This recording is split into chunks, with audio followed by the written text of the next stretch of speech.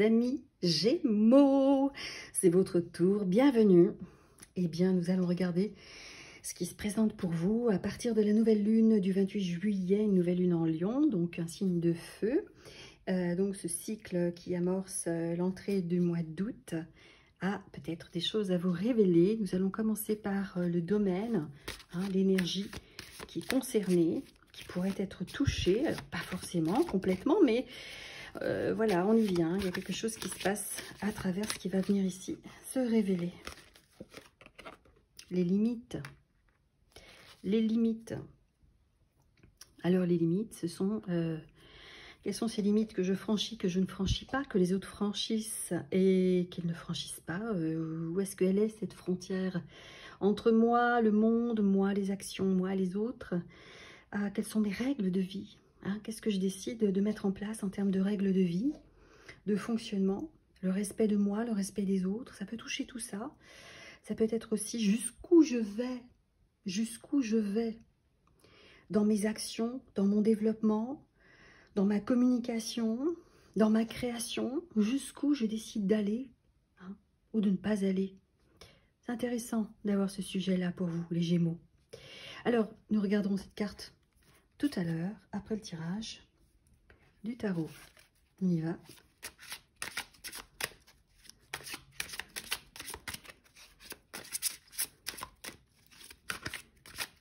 Je rappelle que si vous avez envie de connaître les jeux que j'utilise, vous allez voir la vidéo d'introduction, bien entendu.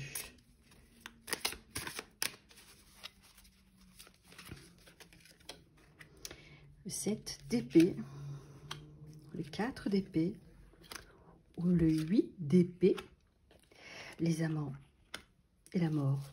Dites donc les amis Gémeaux, il y a de la transformation pour vous avec cette nouvelle lune. Je ne voudrais pas le dire, mais je l'ai dit. Hein. Il y a euh, des épées ici, on est dans le mental, on est dans l'air, hein. on est dans euh, les idées, la connaissance, l'intellectualisation, la réflexion, les vérités. On est dans tout cet aspect et donc c'est tout ce qui se passe au niveau de ce en quoi je crois, euh, ce que ben, ce en quoi je crois, ben, c'est ce que je vois se manifester dans ma vie. Donc le poids des croyances, la place des croyances, c'est intéressant. Hein euh, et ça se présente beaucoup par rapport à ces limites. Euh, où est-ce que je me vois hein C'est un petit peu ça. Où est-ce que je vois les autres? Ça nous parle déjà de ça. Ici, on a les amants et la mort. La mort qui représente bien entendu la fin de quelque chose, l'alpha, l'oméga, la fin, le début Hein, une grande transition. On a ici euh, un deuil à vivre en termes euh, de lien. Euh, on va voir cette partie après, mais on va commencer ici par le début. Qu'est-ce qui se passe hein, Avec quoi vous arrivez dans cette lecture ici, aujourd'hui? Vous arrivez d'un espace où vous avez besoin, besoin de trouver le moyen de tirer votre épingle du jeu. Vous avez réussi, je dirais jusqu'à présent, à être suffisamment intelligent, intelligente pour euh, bah, jouer, jouer euh, dans le jeu collectif, de vous positionner vis-à-vis des autres, euh, dans l'univers de l'autre. Mais vous voyez que en fait, cette carte pourrait dire beaucoup de choses. Elle pourrait dire, hein, je regarde je regarde, elle regarde derrière elle, c'est comme si elle allait vers euh, le passé, vers le connu. Quand on parle du passé, si on parle, on va vers le connu. Je regarde l'inconnu. Eh ben, J'ai extirpé des choses hein, de, ma zone d'inconnu. Euh, je suis venue m'y frotter, comme on dit, avec toute mon espièglerie, ma malice, pour aller puiser des choses. Et je m'éclipse avec. On pourrait aussi le lire comme... Euh, j'ai compris comment les autres fonctionnent. Je ne vais pas, je ne vais pas forcément euh, laisser hein, au monde extérieur euh, le moyen de me détourner. Et donc, je vais dérober. Je vais dérober ici, pas leurs idées, mais je vais désamorcer, désamorcer un peu les pièges que la vie tend. Ça pourrait être vu comme ça.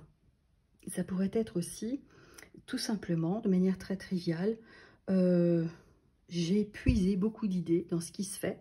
Et on parle d'idées, hein, pensées, j'ai échangé dans mes réflexions, j'ai été euh, apprendre des choses et j'attrape, je, prends, comme on dit dans le milieu professionnel, j'avais un directeur qui disait ça, il faut savoir emprunter avec fierté.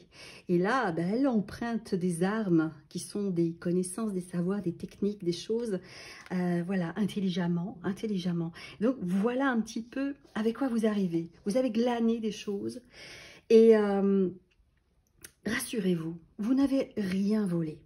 Vous n'avez rien volé, je vais vous le dire pourquoi. Parce que, comme le dit Idriss Aberkan, la connaissance, c'est quelque chose que l'on transmet, que l'on donne, qui existe, qui fait que se décupler.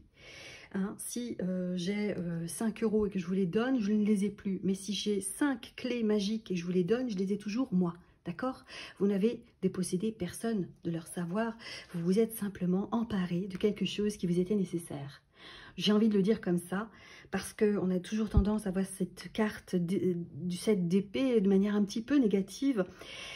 Elle est extrêmement astucieuse, et pour un gémeau, c'est parfait. Je dirais, vous êtes dans votre talent, vous êtes dans votre talent ici. Alors, quelle est votre préoccupation du moment? Et cool, hein on a bien bossé, hein c'est bon.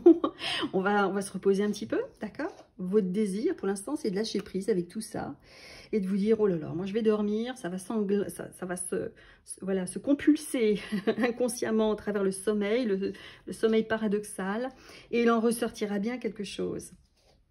Il en ressortira bien quelque chose. Donc, a besoin de, de vous poser, de poser les choses, d'être... Euh, alors, elle peut aller avoir l'air fatiguée, hein, fatiguée. Euh, mais oui, quand on est dans une démarche d'aller chercher à l'extérieur, on a besoin à un moment donné de se replier en soi. Hein. Et donc, euh, veiller à ne pas être trop dans la préoccupation. Mais comment je vais faire Qu'est-ce que je vais faire de tout ça? Mais laissez reposer, comme on dit la pâte, hein, tranquille, ça va se faire, moi je vous le dis, c'est comme ça que ça opère. Dormir, en neurosciences, on le dit souvent, c'est la meilleure façon d'intégrer, de malaxer toute la connaissance qui a été acquise. Donc, repos, repos pour la période actuelle, là, dans l'immédiat. Euh, c'est un petit peu ce que vous désirez, ce qui vous préoccupe, ce qui occupe un peu euh, bah, votre temps en ce moment. Trouvez le moyen de voir des temps de repos, sieste, dormez bien, couchez-vous plus tôt ou levez-vous plus tard. Voilà, trouvez le moyen eh bien, de lâcher avec ça. Parce que euh, le conseil qui vous est donné ici, c'est le 8 d'épée. Le 8 d'épée, vous voyez, elle est enfermée dans ses émotions et elle, a le regard voilé. Hein, euh, elle est vraiment, elle se sent prise au piège, coincée, mais elle est entourée par des épées. Est-ce que réellement euh, les épées la retiennent? Non, pas vraiment. C'est dans son esprit, c'est un état, une vue de l'esprit c'est symboliquement une représentation, c'est je me sens coincé, je me sens enfermé, peut-être dans des idées, dans des croyances, dans des liens aussi, des liens, des liens de loyauté avec le passé, l'histoire. Ça se passe à un niveau très inconscient. Ça se passe à un niveau inconscient, donc euh, la recommandation ici, c'est si vous voulez un repos qui convienne exactement à votre besoin, mettez au clair ce en quoi vous croyez, ce avec quoi vous êtes encore lié. C'est ça pour moi. Donc c'est attention, tu es encore relié soit à des pensées, soit à des énergies, soit à des personnes qui ne t'aident pas. Donc euh, fais le clair un petit peu avec tout ça. Euh, ou vise à ne pas te laisser attraper dans ce qui n'est pas toi moi, je le sens aussi comme ça, là. C'est ce qui vient. Euh, la recommandation, c'est ne te laisse pas attraper dans ce qui n'est pas toi. Ce qui n'est pas, ce qui ne résonne pas pour toi. Hein, ce qui ne vibre pas pour toi. Si ce n'est pas votre votre croyance, si c'est pas votre vision de la vie, si c'est pas vos ressentis, si c'est pas votre domaine d'excellence, euh, si c'est pas ce qui vous fait kiffer, eh ben non, non, n'y allez pas, ne vous laissez pas enfermer. C'est un petit peu ce que je ressens là, parce que, qu'est-ce qui s'invite ici? Là, on est davantage sur l'aspect euh, concret des choses, hein, l'ancrage, la matière. Euh, là, c'est, je dirais, la partie intellectuelle, spirituelle, les idées, les pensées, la communication, les émotions. Là, on est sur le concret. Qu'est-ce qui se passe ici en termes de projet, de projet de vie ou de projet professionnel, hein, de, de, de réalisation que vous voulez mettre en œuvre? Ce sont les amants. Alors, c'est la carte maître des, du Gémeaux, hein, clairement. Euh, incroyable. Euh, euh, les amants, le 6, les amoureux, hein, dans le tarot classique. Dans le tarot classique, ça parle de choix. C'est un homme, deux femmes, vers quoi je tends. C'est comme si, en vous, il y avait un choix à faire. vous avez fonctionné d'une certaine façon, peut-être peut-être une façon je dirais, aller intellectuelle, euh, les choses qui concernent le savoir, la technicité, l'expertise. Et il y a une autre part, hein, donc ça c'est plus le masculin on va dire, il y a une part féminine, vous voyez elle est tournée, qui s'invitera ici. Hein. C'est euh, un mariage sacré, le Hieros Gamos, le retour à l'unité, le retour à, à, cet assemblage de nos parts contraires hein, qui qui va pouvoir se vivre là, cette transformation avec cette nouvelle lune en lion est favorable à vous permettre de laisser émerger complètement vos parts contraires. Il va y avoir une transmutation, moi je, je le sens par cette carte-là, c'est le challenge ici, c'est oser basculer, euh, si vous avez été toujours plutôt doux, douce, féminin, féminine dans votre manière de faire, toujours créatif, attentif, compassionnel, euh, eh bien laissez venir, euh, je dirais, de cette part structurelle qui, régit les choses, qui décide, qui dirige. laissez émerger cette part de vous. Si au contraire, hein, vous avez été plutôt je décide, j'y vais, je fais des efforts, je, je, euh, je, conduis. Euh, laissez l'intuition parler. Vous voyez, c'est cette combinaison de ces deux parts contraires. Euh, c'est pas de laisser venir l'une, venir naître l'une au détriment de l'autre, c'est de laisser pleinement émerger les deux. Marie, c'est le mariage sacré qui s'invite pour vous.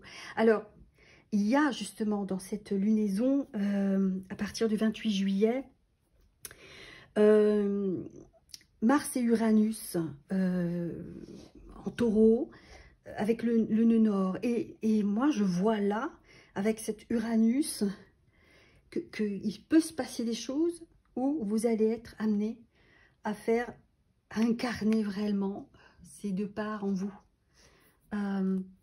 de manière complémentaire en même temps ou alternative, hein, mais, de les faire euh, venir en vous et de ne plus avoir finalement à, choisir une attitude plutôt qu'une autre. Hein. Il y a quelque chose de cet ordre-là. Ici, le challenge, c'est d'accepter cette transformation. Je pense que cette dimension des amants, cette dimension double, duel, du gémeaux, euh, vous, invite, s'invite vraiment à, être incarné. Euh, mais il y, a un, deuil à faire. Il y a une transmutation à accepter qui est peut-être de, j'ai presque envie de le dire comme ça, de ne plus vous retenir à être qui vous êtes. De ne plus chercher à euh, satisfaire une adéquation entre comment vous devez vous comporter par rapport à ce que vous faites c'est incarner qui vous êtes.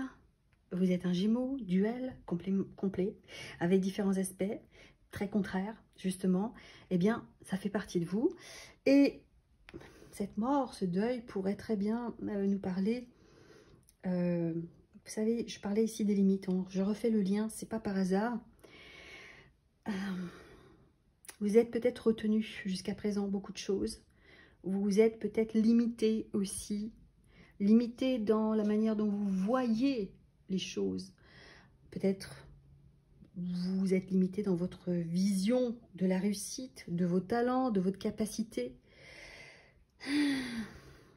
Ça nous parle un petit peu ça. Il faut euh, en terminer avec l'ancien paradigme. Il y a quelque chose qui s'invite ici. Je suis très curieuse de voir ce que vous allez vivre dans cette nouvelle phase euh, lunaire. Euh, mais je pense qu'ici, une transformation va, va se jouer pour vous. Fort, forte de ce que vous avez déjà acquis.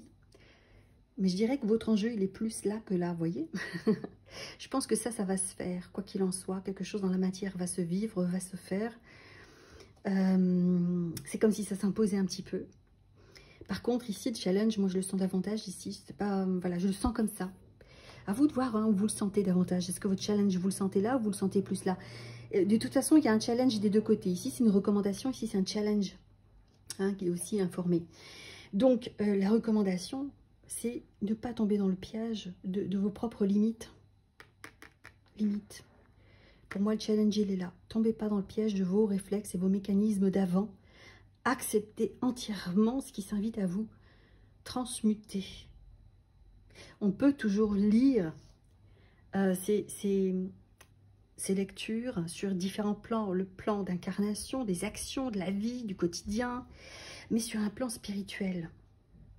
Ça se joue dans les deux. Donc vous vous le lisez comme vous voulez, mais ça se joue dans les deux de toute façon, à mon sens. C'est comme ça. Alors, chers amis Gémeaux, je vais vous donner maintenant la carte de soins les messages de guérison de l'Égypte ancienne à travers ce sublime jeu que j'aime beaucoup. Ah, ah, elle est tombée. J'ai senti tomber. On va la prendre. La clé de cidre. L'horloge à eau. Le temps est ton ami. Avec douceur et patience, il applique son baume apaisant sur les cœurs blessés. Alors, la cidre, hein, c'est une horloge à eau elle était au bord du Nil et avec l'eau, on déterminait le temps, comment il s'écoule, à quelle période de l'année nous nous trouvons, etc., etc. Eh bien, le temps est ton ami, nous dit ici cette carte. Cette guérison, c'est prends ton temps, prends ton temps. Les choses vont se faire de toute façon, avec douceur et patience. Ne t'acharne pas à vouloir, comme elle est. Ah, si j'arrive pas à m'endormir, mais laissez-vous porter par votre rythme. Et avec le temps, le baume apaisant hein, se fait, se positionne. Vous êtes aidé comme ça sur tout ce qui est blessé, blessant. Hein, ces limitations, ça va se faire parce que vous êtes en train d'agir pour ça. Vous le faites. L'action, elle est là. Vous faites votre part.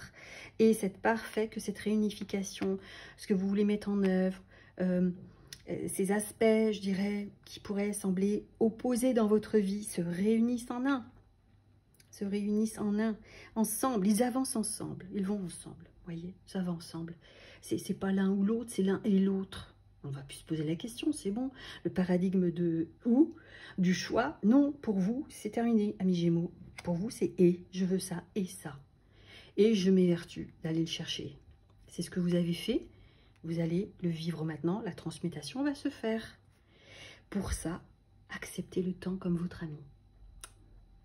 Ça, c'est le message soin. Et j'aime bien. Il y a quelque chose... Ça va être fluide, vous voyez, clepsydre, l'horloge à eau, ça va être fluide. La transmutation va se faire. voilà. Écoutez, j'espère que ce message va être éclairant, aidant pour vous sur ce chemin euh, du mois d'août, sur cette nouvelle lunaison qui s'invite dans un signe de feu qui nous parle de flamboyance, de rayonnement, il y a quelque chose qui va surgir. Et peut-être que justement, vous allez comprendre et voir réellement quels étaient des pièges passés de vos limites. Voilà, chers amis Gémeaux, je vous dis à bientôt.